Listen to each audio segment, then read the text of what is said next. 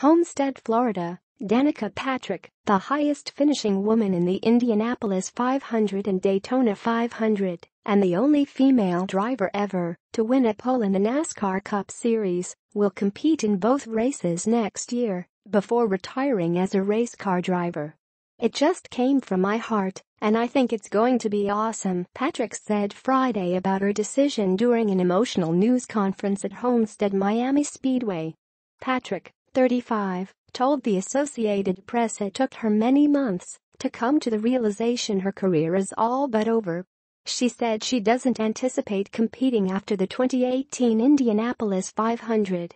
Nothing that was being presented excited me, then about three weeks ago, I just blurted out, what about Indy? Let's end it with the Indy 500, she told the AP. This ignites something in me. But I am done after May. Everyone needs to put their mind there. My plan is to be at Indy, and then I'm done.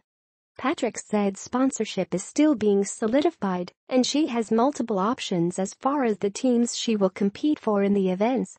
She said she hopes to drive for a team with a guaranteed spot in the Daytona 500, but felt comfortable if she had to earn one of the four spots available through the qualifying races. She said she hopes to have the teams figured out in the next few weeks. As far as returning to the Indy 500, she said Indy cars have more downforce than when she last drove them in the October 2011 Las Vegas race where Dan Wheldon died.